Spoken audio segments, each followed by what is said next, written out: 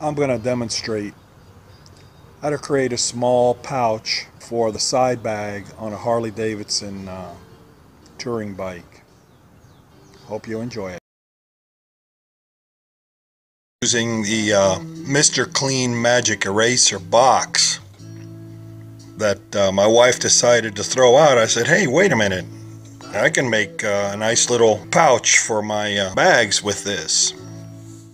I'm using a grommet kit punch uh, just to get um, a round circle cut out of the uh, little box. The piece that I actually just need is the round circle cutout piece that um, I'm going to be pounding on. It should be easy to do.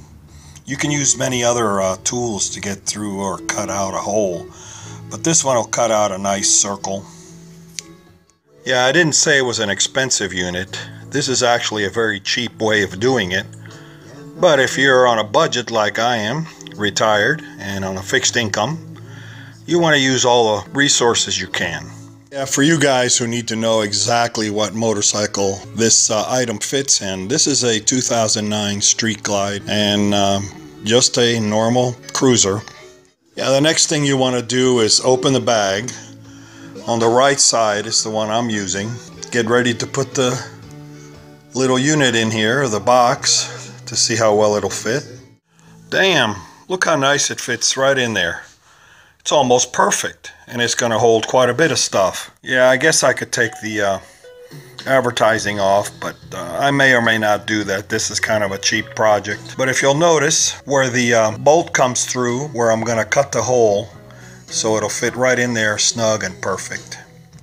Then I use a block of wood that is uh, probably a piece of a 2x4 that I have. Then I put the uh, box right on top of it where I'm gonna do the hole and notice that I've already marked it where it's supposed to be and uh, hopefully that'll work out just fine. I also decided to uh, bang it out from the other side by using a couple of pieces of uh, 2x4s and then um, cut the hole through that way. There's a couple of methods you can use.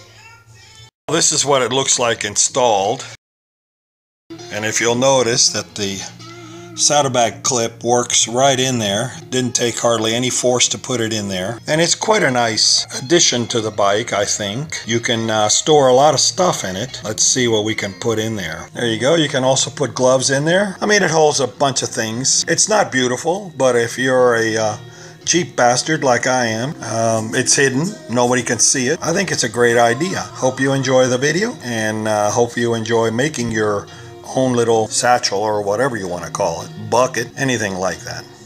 All right, it's fully installed and in the side bag and or saddle bag. I don't think that anybody can see it, so I think I did a pretty good job. Take care and uh, stay corona free.